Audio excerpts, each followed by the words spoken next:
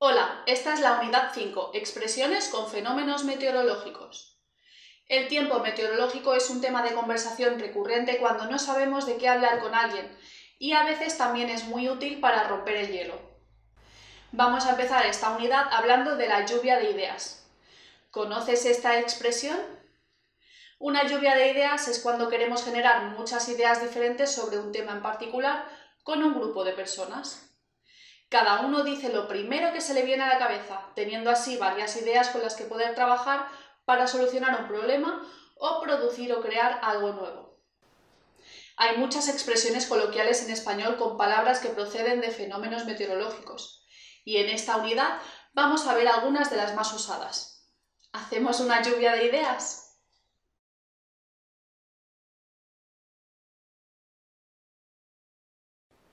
El agua está presente en todas las facetas de la vida. Somos agua, bebemos agua y funcionamos con agua. Y aún hay más. También hablamos agua, así que os voy a presentar algunas expresiones en las que el agua es el personaje principal de la película. Madre mía, está lloviendo a cántaros. No salgas a la calle que te vas a quedar empapada. ¿Sabes qué significa llover a cántaros? Pues que llueve mucho o que llueve demasiado. Quizá te preguntes qué es un cántaro. Pues bien, es una vasija o una botella grande.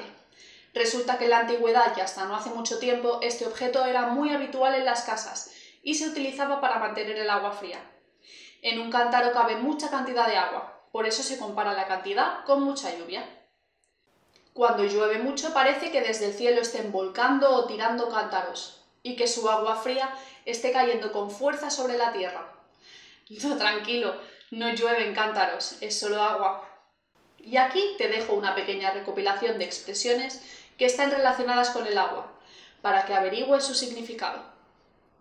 No callarse ni debajo del agua, ser agua pasada, llueve en trueno y centellas y nunca llueve a gusto de todos. ¿Conoces alguna expresión más en la que el agua sea la protagonista?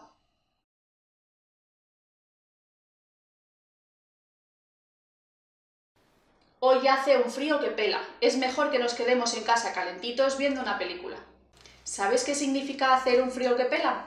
Pues que hace muchísimo frío. ¿Y sabes cuál es su origen? La relación entre pelar o dejar sin piel con el frío tiene su origen en una expedición al Himalaya en el año 1950, en la que los alpinistas perdieron la mayoría de sus alimentos al bajar mucho la temperatura.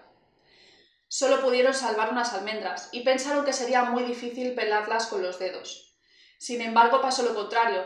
El frío ayudó a que las almendras se pelaran con mucha más facilidad. Qué curioso, ¿no?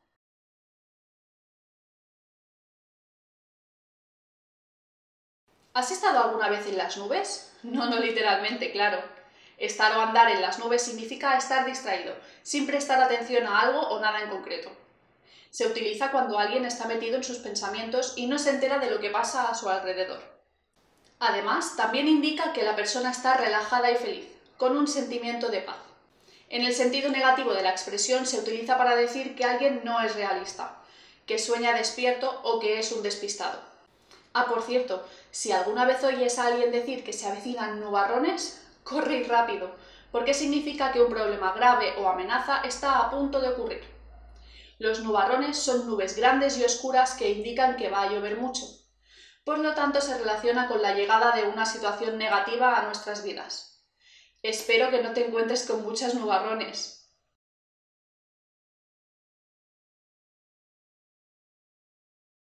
¿Te acuerdas de que en la introducción de esta unidad he mencionado la expresión romper el hielo? No sé si te has quedado con la copla o si sabes su significado, pero romper el hielo es una expresión que se utiliza para indicar que alguien ha empezado una conversación para rebajar la tensión del momento. Se suele utilizar cuando en un encuentro social las personas que participan no se conocen entre ellas o no se llevan bien. La situación que se da es tensa, sea por malestar o por no saber cómo empezar a hablar. ¿Sabes cuál es su origen? Proviene de Reino Unido. ¿Será por eso que los ingleses siempre hablan del tiempo? Antiguamente todo el comercio se hacía por medio del mar y de barcos. El río Támesis se congelaba en invierno, por lo que se hacía imposible transitar por él en barco y por lo tanto se debía parar el comercio. En primavera, cuando la capa de hielo era más delgada, se rompía y se retomaban los negocios.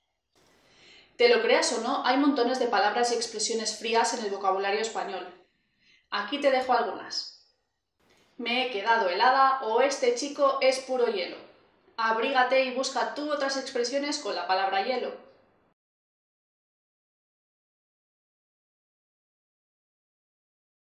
Esta comida que ha preparado Carmen sabe a rayos, no me la puedo comer. ¿Has oído alguna vez esta expresión? Significa saber algo muy mal, tener un gusto muy desagradable. Y la peligrosidad real de los rayos también da lugar a expresiones quizá un poco más desagradables, como por ejemplo que te parta un rayo o un mal rayo te parta. ¿En qué situación usarías estas expresiones?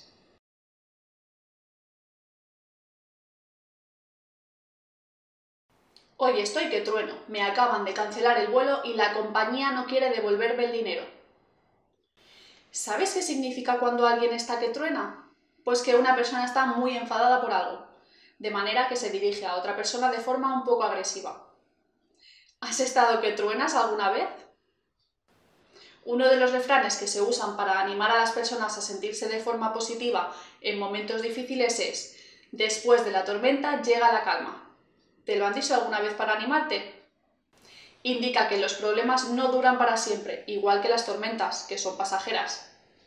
También se puede decir, tras la tempestad viene la calma. Es muy útil si quieres animar a alguien en español.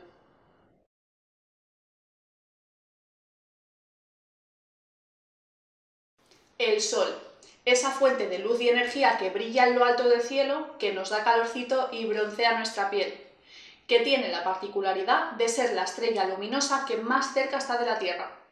Sí, aquí te voy a dejar una recopilación de expresiones sobre el Sol para que disfrutes tal y como lo harías de un día con su presencia. Hace un sol de justicia. Normalmente decimos esto cuando nos quejamos de que el sol pega fuerte en un día caluroso. ¿Sabes de dónde proviene esta expresión? En realidad hacemos referencia a una antigua costumbre de castigar a los presos, la penitencia consistía en mantenerlos quietos con correas al aire libre y bajo el sol. Además de la humillación pública, muchos de ellos se llegaban a morir por deshidratación o por las quemaduras causadas. ¡Qué horror, ¿no? Bueno, vamos a ver otra expresión más alegre. Ser un sol significa que alguien es muy buena persona, ser bondadoso. El sol tiene características muy positivas, es agradable y produce bienestar.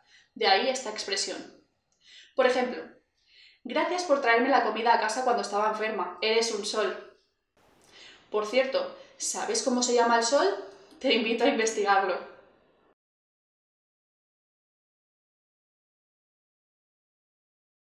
¿Cuáles son las expresiones que usarías para decir que hace mucho calor? Te voy a echar una mano. Me estoy asando de calor.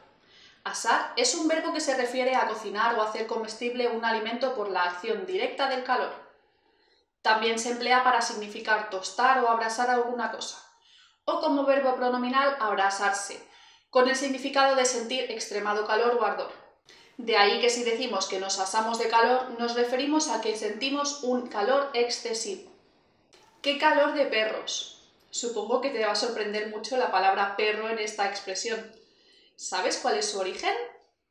Es muy interesante, tiene su origen en los calores de perro, que se definen como el periodo que va del 3 de julio hasta el 11 de agosto, cuando la estrella de la constelación Canis Major, perro grande, se alza en conjunción o casi con el Sol.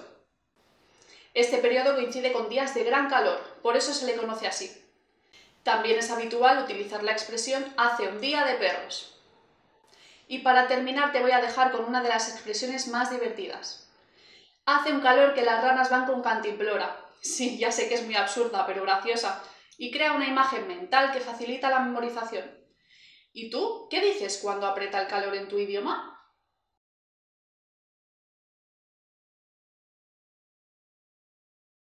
No son pocas las expresiones que nos encontramos con la palabra aire. Una de ellas es la de ir a mi aire. ¿Esto qué significa? Pues que voy a mi ritmo. Si te hablo a mi aire, te voy a hablar a mi manera, con mi propio estilo. Este estilo que tanto me caracteriza y que puede ser que no te guste, claro, pero voy a ser yo misma y voy a hacer lo que me apetezca, sin pensar qué opinen los demás. Por ejemplo, en casa normalmente se come a las 2, pero yo como cuando me apetece, porque me gusta ir a mi aire. Y vamos a ver otra expresión que también me gusta mucho. Cambiar de aire significa cambiar de ambiente, de lugar, marcharse a vivir a otra parte o también puede referirse a cambiar de trabajo. Por ejemplo, voy a dejarlo todo y me voy a ir a vivir a Argentina para aprender español. Necesito cambiar de aires. Y hay muchas más, como por ejemplo hablar al aire, que es hablar sin fundamento, alimentarse del aire, que significa comer muy poco, o cambiar de aires, que es irse a otro lugar. ¿Conoces alguna otra?